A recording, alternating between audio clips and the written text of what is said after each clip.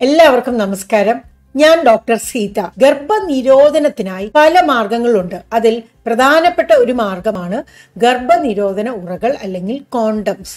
ഈ കോണ്ടംസ് എന്ന് പറയുന്നത് മെയിൽ കോണ്ടംസും ഉണ്ട് ഫീമെയിൽ കോണ്ടംസും ഉണ്ട്. നമ്മുടെ നാട്ടിൽ പലർക്കും മെയിൽ കോണ്ടംസിനെ കുറിച്ചിട്ടാണ് കൂടുതലായിട്ടും അറിയുന്നത് തന്നെ. ഈ കോണ്ടംസിന്റെ വിജയനിരക്ക് അതല്ലെങ്കിൽ പരാജയ നിരക്ക് എത്രയാണ് എന്ന് അറിയുവാനാണ് ഏറ്റവും അധികം ആളുകൾ ആഗ്രഹിക്കുന്നത്. എല്ലായ്പ്പോഴും ബന്ധപ്പെടുന്ന സമയത്ത് ഈ ഗർഭനിരോധന ഉറകൾ കൃത്യമായ രീതിയിൽ ഉപയോഗിക്കുകയാണെങ്കിൽ ഏകദേശം തൊണ്ണൂറ്റെട്ട് ശതമാനമാണ് ഇതിന്റെ വിജയനിരക്ക്. അതായത് പരാജയ നിരക്ക് വെറും രണ്ട് ശതമാനം മാത്രം. എന്നാൽ പലപ്പോഴും പലരും കൃത്യമായ രീതിയിലല്ല ഇത് ഉപയോഗിക്കുന്നത്. അപ്പോൾ അങ്ങനെയുള്ളവർക്കാണ് വിജയനിരക്ക് കുറച്ച് കുറയുന്നത്. അതായത് പരാജയ നിരക്ക് കുറച്ച് കൂടുന്നത്. കോണ്ടംസിന്റെ വിജയനിരക്ക് കൂട്ടുവാൻ വേണ്ടി നമുക്ക് എന്തൊക്കെ ചെയ്യാൻ പറ്റും? കുറേ കാര്യങ്ങൾ ചെയ്യാൻ പറ്റും. വാങ്ങുമ്പോൾ ചില കാര്യങ്ങൾ ശ്രദ്ധിക്കണം സൂക്ഷിച്ചു വെക്കുമ്പോൾ ചില കാര്യങ്ങൾ ശ്രദ്ധിക്കണം അതേപോലെ ഉപയോഗിക്കുന്ന സമയത്തും കുറച്ച് കാര്യങ്ങൾ ശ്രദ്ധിക്കണം. ഇതിനെക്കുറിച്ച് നമുക്ക് നോക്കാം ഈ വീഡിയോയിൽ.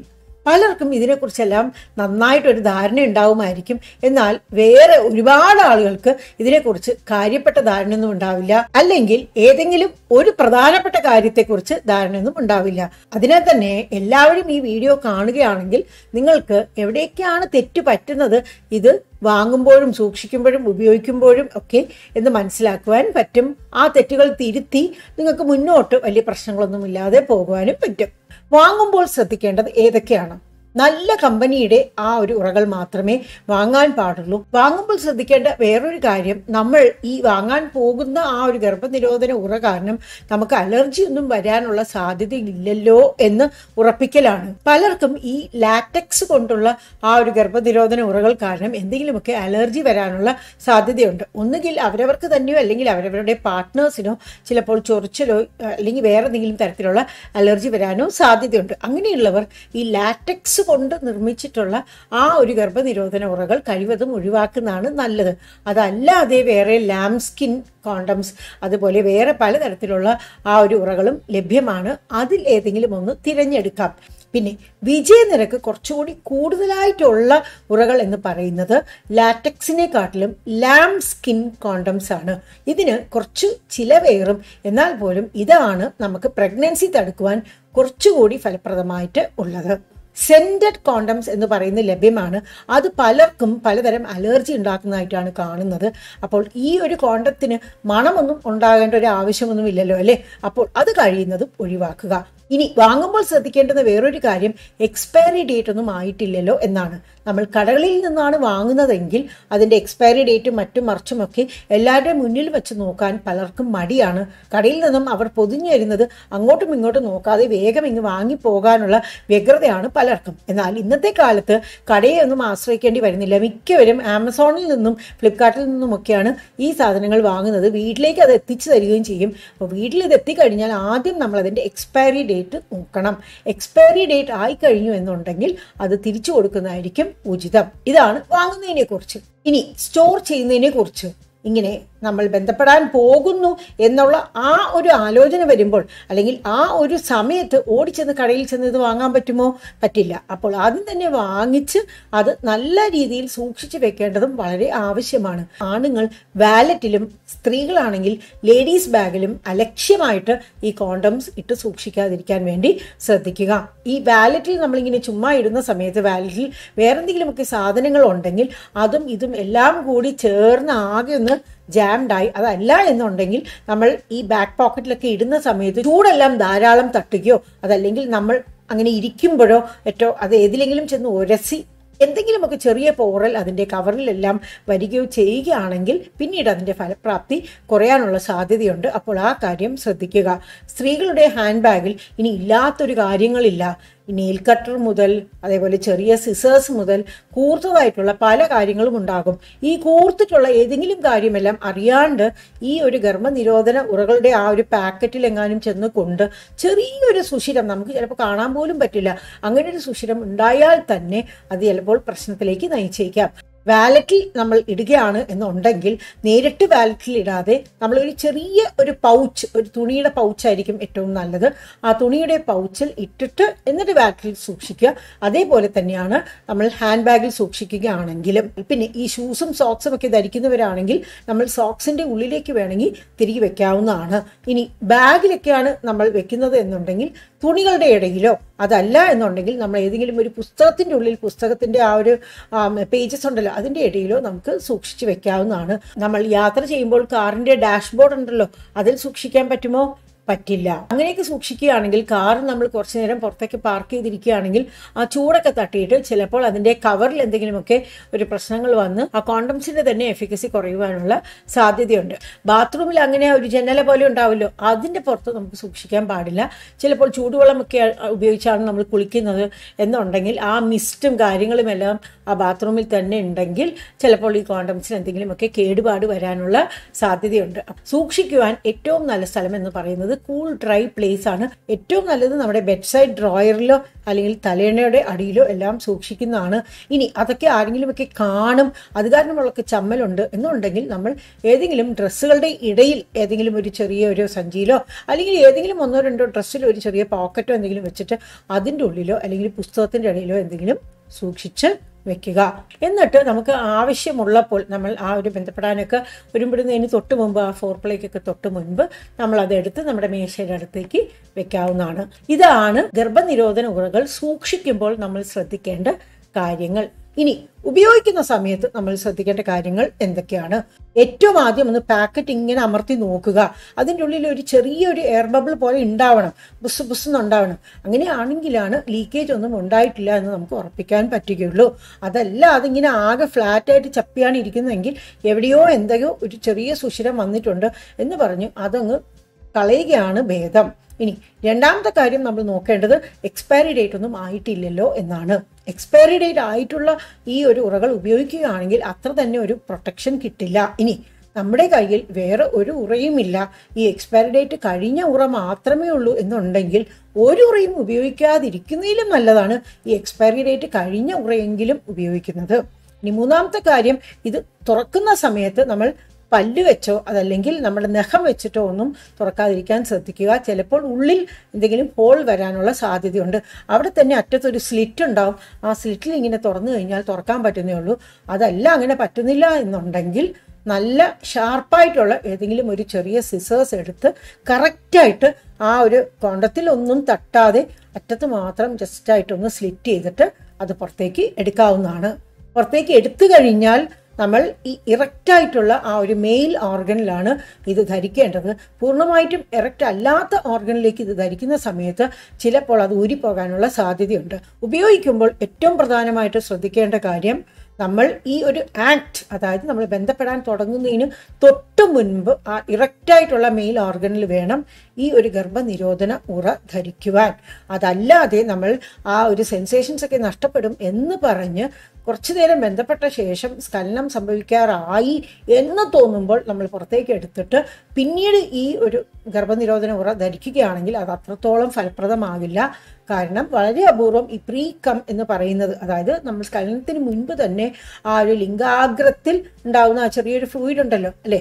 ആ ഫ്ലൂയിഡിലും അപൂർവമായിട്ട് ചിലപ്പോൾ സ്പേംസ് കണ്ടേക്കാം. അപ്പോൾ അതിനാൽ ഗർഭനിരോധനമാണ് നിങ്ങളുടെ ലക്ഷ്യമെന്നുണ്ടെങ്കിൽ ഈ ഒരു കാര്യം ചെയ്യാതിരിക്കാൻ ശ്രദ്ധിക്കുക. മനസ്സിലായില്ലേ? ഇനി വേറൊരു കാര്യം ശ്രദ്ധിക്കേണ്ടത് ചിലരൊക്കെ ഒന്നിന് പുറത്ത് വേറൊരു കോണ്ടം അല്ലെങ്കിൽ ചിലർ ഒരു രണ്ടോ മൂന്നോ കോണ്ടംസ് ഒക്കെ ഒരുമിച്ച് ഒന്നിന് പുറത്തൊന്ന് ധരിക്കാറുണ്ട്. ഏതെങ്കിലും ഒന്ന് പൊട്ടിപ്പോയാൽ മറ്റേത് രണ്ടെങ്കിലും ഉണ്ടല്ലോ എന്ന് ആ ഒരു സമാധാനത്തിൽ. എന്നാൽ അങ്ങനെ ഒരിക്കലും ശരിയാവില്ല. ഈ ഒരു ഗർഭനിരോധന ഉറകൾ ഉണ്ടാക്കിയിരിക്കുന്നതന്നെ ഒറ്റയ്ക്കൊറ്റയ്ക്ക് ഉപയോഗിക്കാൻ വേണ്ടിയിട്ട് ആ ഒരു ഡിസൈനിലാണ്.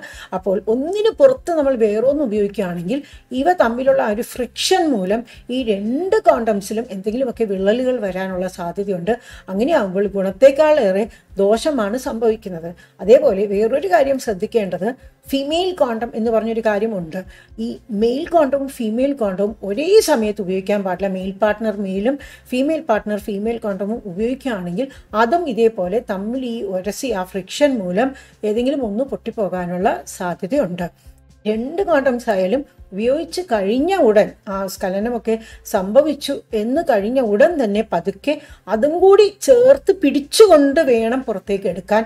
അതല്ലാതെ വെറുതെ പുറത്തേക്ക് എടുത്തു കഴിഞ്ഞാൽ ചിലപ്പോൾ ആ ഒരു ഉറ അകത്ത് തന്നെ ഇരിക്കും. അതല്ലെങ്കിൽ അതിലത്തെ കുറച്ച് സെക്രീഷൻസ് എല്ലാം പുറത്ത് ആ ഒരു യോനി ഭാഗത്ത് യോനിയുടെ ആ ഒരു മുഖത്തോ അതല്ലെങ്കിൽ ആ വൽവൽ ഏരിയയിലോ ഒക്കെ വീഴാനുള്ള സാധ്യതയുണ്ട്. അങ്ങനെയാകുമ്പോൾ ഗർഭധാരണം ഉണ്ടാകില്ല എന്ന് നമുക്ക് ഉറപ്പിച്ച് പറയാൻ പറ്റില്ല. അപ്പോൾ ഇതൊക്കെ ഒന്ന് ശ്രദ്ധിക്കണം. അത് കഴിഞ്ഞിട്ട് അത് സുരക്ഷിതമായ സ്ഥലത്ത് അത് നിക്ഷേപിച്ച് കളയുകയും വേണം. വേറൊരു കാര്യം ശ്രദ്ധിക്കേണ്ടത് നമുക്ക് ലൂബ്രിക്കേഷന് വേണ്ടി ഈ ഒരു ഉറകൾ ഉപയോഗിക്കുന്ന സമയത്ത് ഓയിൽ ബേസ്ഡ് ലൂബ്രിക്കൻസ് ഉപയോഗിക്കാൻ പാടില്ല. വാട്ടർ ബേസ്ഡ് ലൂബ്രിക്കന്റ് ഉദാഹരണം കെ വൈ ജെൽ ഇവ ഉപയോഗിക്കുന്നതാണ് കൂടുതൽ അനുയോജ്യം. ഓയിൽ ബേസ്ഡ് ലൂബ്രിക്കന്റ് ഉപയോഗിച്ച് കഴിഞ്ഞാൽ വിള്ളൽ വരാനുള്ള സാധ്യത കൂടുതലാണ് ഇതിന്റെ ഫലപ്രാപ്തി കുറയാനുള്ള സാധ്യത കൂടുതലാണ്. ഫീമെയിൽ പാർട്ട്ണറിന് കാൻഡീഡിയൽ വജൈനൈറ്റിസ് ബാക്ടീരിയൽ വജൈനൈറ്റിസ് അതേപോലെ ട്രൈക്കമോണിയൽ വജൈനൈറ്റിസ് എന്നിങ്ങനെ ആ ഒരു വജൈനൽ ഇൻഫെക്ഷനൊക്കെ ഉണ്ട് എന്നുണ്ടെങ്കിൽ ചിലപ്പോൾ നമ്മൾ ഈ ഗർഭനിരോധന ഉറകൾ ഉപയോഗിക്കുമ്പോൾ അത്ര തന്നെ ഇഫക്റ്റീവായിട്ടുണ്ടാവില്ല അപ്പോൾ ഈ സമയത്ത് ഇത് കൂടാതെ വേറെ ഏതെങ്കിലും മാർഗം ഉപയോഗിക്കേണ്ടതായിട്ട് വരും. മനസ്സിലായില്ലേ? പിന്നെ ഉറകൾ ഉപയോഗിക്കുമ്പോൾ അതിന്റെ ഒരു ഫലപ്രാപ്തി കൂട്ടുവാനായി നമുക്ക് സ്പെർമിസൈഡൽ ടാബ്ലറ്റോ സ്പെർമിസൈഡൽ ജെല്ലോ കൂടെ ഉപയോഗിക്കാവുന്നതാണ്. അത് നമ്മൾ ആ ഒരു യോനിയുടെ മുഖഭാഗത്തും അതേപോലെ യോനിയുടെ ഉള്ളിലും നമുക്ക് തേച്ച് പിടിപ്പിക്കാവുന്നതാണ്. ടാബ്ലറ്റ് ആണെങ്കിൽ ഉള്ളിലേക്ക് വെക്കാവുന്നതാണ് ബന്ധപ്പെടുന്നതിന് മുൻപ്. അതിനുശേഷം നമുക്ക് ഈ ഉറകൾ ഉപയോഗിച്ചുകൊണ്ട് ബന്ധപ്പെടാൻ പറ്റുന്നതാണ്. ഈ ഒരു കാര്യത്തെക്കുറിച്ച് എല്ലാവരും മനസ്സിലാക്കും എന്ന് തന്നെ ഞാൻ കരുതുന്നു. ഈ കിട്ടിയ അറിവ് എല്ലാവരുമായി പങ്കുവയ്ക്കുക അതിനായി ഈ വീഡിയോ ലിങ്ക് എല്ലാവർക്കും അയച്ചു കൊടുക്കുക. വീണ്ടും മറ്റൊരു വീഡിയോയുമായി നിങ്ങളുടെ മുന്നിൽ വരുന്നതുവരെ നിങ്ങൾക്കും നിങ്ങളുടെ കുടുംബത്തിലുള്ള എല്ലാവർക്കും ശാന്തിയും സന്തോഷവും ആരോഗ്യവും സമാധാനവും എല്ലാം നേരുന്നു.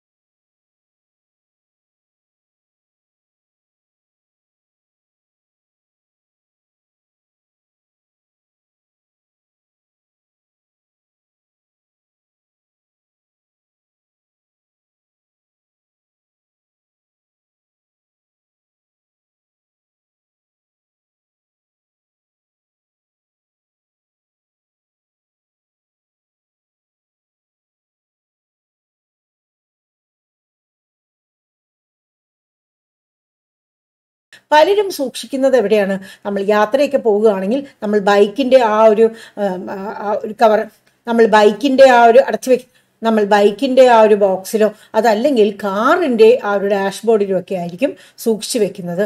അങ്ങനെ ഒരിക്കലും സൂക്ഷിച്ചു വെക്കാതിരിക്കുക. അതേപോലെ വാലറ്റിൽ അതേപോലെ